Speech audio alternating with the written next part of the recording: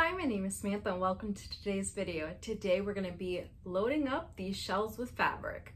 Let's get into it. Here is what we are working with to start. So we've got the furniture in place. This guy will be non-fabric items. Those shelves are ready for some fabric and we have the majority of fabric here. There are some boxes still downstairs. What I'm gonna start with is opening the boxes and laying them out in categories here on the table, which I have cleaned off, so that once they do go on the shelves, we have some sort of, you know, categories. Here's the cotton flannel all out of their boxes. So I'm gonna start on this side with the cotton flannel, doing the cats last, because if those need to go on this side, then that's fine. Because uh, I do wanna keep in mind the light, so the fabrics on this bookcase are the most likely to get faded. Um, not that I've had troubles with fading, but just something to keep in mind. Fabric being touched by light. Uh, these two bins are regular fabric, and then these guys didn't fit when I um, cut up the flannel. They should be with these ones.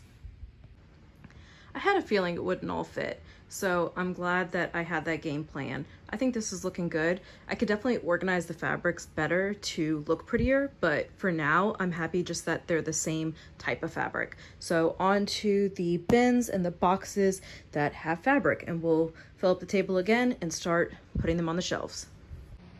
Moving tip for you, all of my boxes and bins that have fabric or clothes, I put a full or a half sheet of a dryer sheet to keep them smelling fresh. And then when you get to your destination, just pull them aside and then you can use them when you're washing your clothes. Let's start with these ones and get them loaded up. The categories aren't perfect, but here's what I pretty much have. So these are cotton flannel, um, plaid or gingham, I'm not sure. These are special fabrics that are for me and I wanna make them for myself.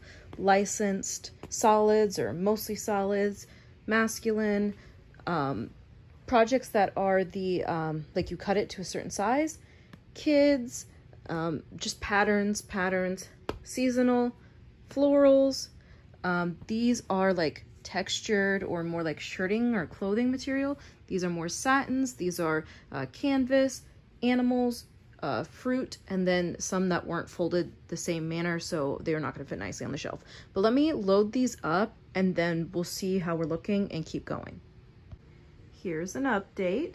So we've got the um, gingham and the plaids and the child fabrics all together, as well as the ones that are more shirting material licensed and masculine, um, florals, the, and then just the patterns, some nautical, uh, seasonal, the fabrics that are for myself, uh, fruits, and then uh, animals, solids. These guys are more like duck cloth, and then these ones are more satiny. Um, and then this row right here is gonna be um, things that are patterns or have been cut up, so like a functioning row. And if things need to adjust, we can adjust, but I just wanna you know, keep going in stages.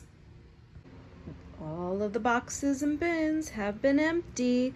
Let me go ahead and give you a quick pass over.